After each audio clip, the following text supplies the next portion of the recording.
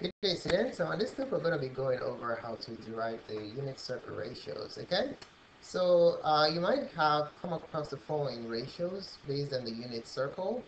Uh, the ratios that are known, these ratios that are known as the unit circle ratios, they are sine theta equals uh, y and cosine theta equals x and tan theta equals y over x, and cosecant theta equals 1 over y, secant theta equals 1 over x, and cotangent theta equals x over y. So the question is, where did all these formulas come from? They're known as the unit circle ratios, but uh, how are they derived from the unit circle? That's the question, okay?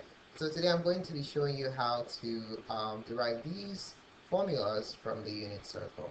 Alright, so what we're going to do is uh, just we're going to draw a circle. Just make a sketch of a circle and then see if we can derive those formulas from the circle, okay? So we're going to assume that this circle is a unit circle. Okay, we'll go over what that means in a minute, but let's go ahead and uh, label it first. So we're going to draw a coordinate system. There goes our x-axis, and there goes our y-axis.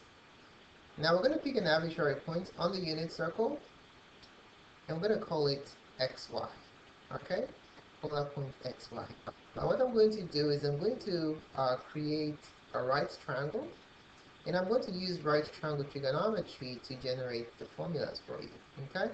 So let's generate a right triangle using that uh, point we created. Let's draw a point from the center to the point and then we'll, we'll draw a right triangle downwards like this.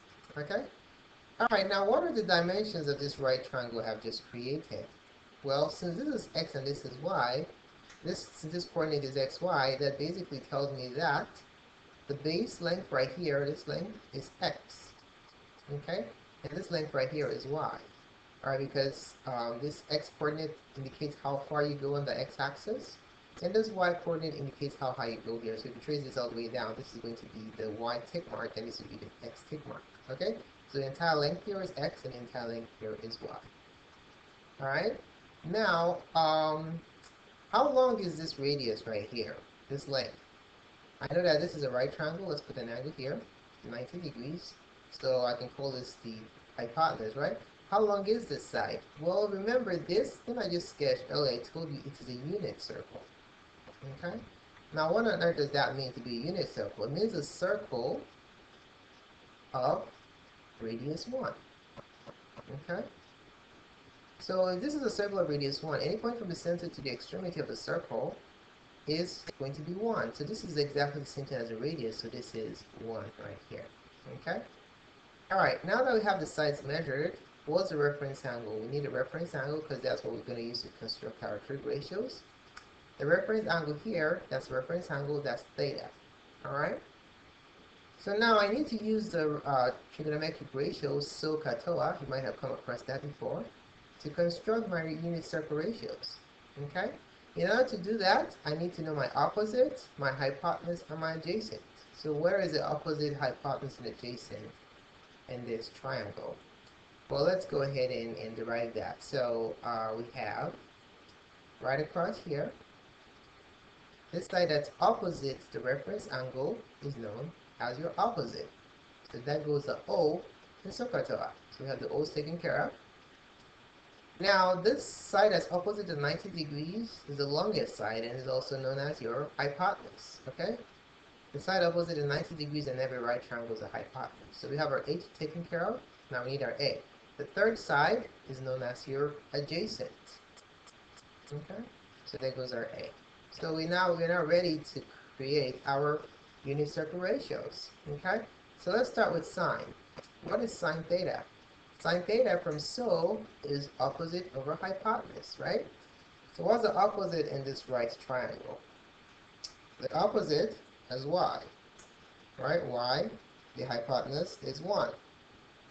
So y over 1 equals y. Alright, so there goes the first value of the unit circle ratio. So the next one is cos, uh, cosecant.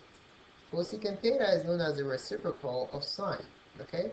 So if I reciprocate sine, so cosecant is 1 over sine, If I reciprocate sine, it's basically reciprocating this fraction right here, which gives me the hypotenuse over opposite. And that is basically 1, which is the hypotenuse, over y, which is the opposite. So 1 over y is my value for cosecant. Now let's move along to CAH. What does CAH tell me? CAH tells me that the cosine theta is the adjacent of a hypotenuse, right? My adjacent is x, and my hypotenuse is 1. So x over 1 is x. Now, uh, what's the reciprocal of cosine? The reciprocal of cosine is secant. So if I reciprocate this, I have secant theta equals hypotenuse over adjacent. Okay, which is the same thing as 1 over cosine. Uh, 1 over cosine is the same thing as hypotenuse of adjacent, which is 1 over x. So there goes your secant. Now let's do tan. What is tan theta? Well, let's go back to TOA. Uh, you look at TOA. Tan theta is the opposite over the adjacent, right? TOA is opposite over adjacent. So how do we write that? Uh, opposite is y, adjacent is x. So tan theta is y over x. Alright, how about cotangent theta? Cotangent theta is adjacent over opposite, right? Which is a reciprocal of tan. We can write it as cotangent is 1 over tan, or adjacent over opposite for the reciprocal of tan, and that basically equals x over y.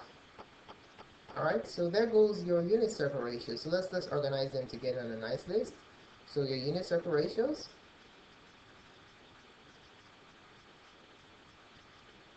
are sine theta equals y. Its reciprocal trig function cosecant theta is a reciprocal of y, which is 1 over y, as we derived over here. Cosine theta is x, uh, and the reciprocal secant theta is 1 over x. Tan theta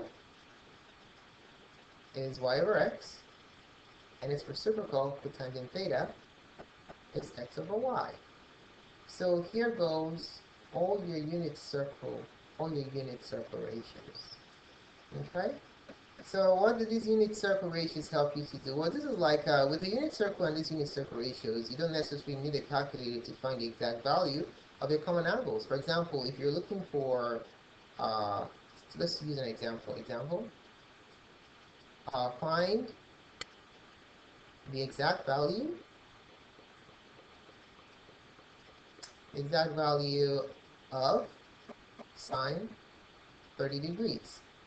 If you know your units, uh, you see this is a common angle because it's on a unit circle. So all we just have to do is uh, use our unit circle ratios to, to figure this out. So I'm just going to generate a tiny unit circle here, and then I'll show you how to uh, find this out. So uh, all I just need is 30 degrees and I need to know where uh, what the coordinates are. So let's say this is 30 degrees right here. So you can have your unit circle memorized or you can, some teachers let students have it with them. So this is 30 degrees and that tells me that the coordinates here are root 3 over 2 and 1 half. Okay? So notice that for the 30 degree angle, this is my x and this is my y. So if I wanted to find sine 30 degrees, sine 30 degrees is simply the y coordinate of the point on the unit circle, was y. And what is y? y is 1 over 2.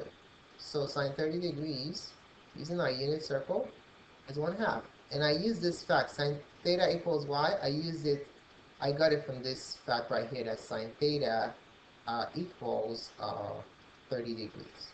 Okay? Alright, how about if we wanted to find uh, cotangent uh, 30 degrees, for example? Just for additional practice, cotangent 30. If I want to look for cotangent 30 degrees, how do I do it? Well, I know cotangent is x over y, right? Is x over y. I know my x is root 3 over 2. And I'm going to divide that by y, which is 1 half. Okay? Now to divide this out, I just need to multiply this by the reciprocal of that because that's the same thing as dividing. Or I'll drop change flip, so I'll change this to root 3 over 2. times 2 over 1. Okay, the 2's divide out, multiply across, the final answer is square root of 3. So cotangent 30 degrees equals root 3. See, we're doing all these calculations without the aid of a calculator, okay? So that's the beauty of um, having the unit circle and knowing your unit circle ratios, okay? All right. So thank you so much for taking the time to watch this video. Feel free to subscribe to my channel up here uh, for future videos and also feel free to request videos. Um, more videos can be found on mathgotserved.com. Thanks again and have a wonderful day. Bye-bye.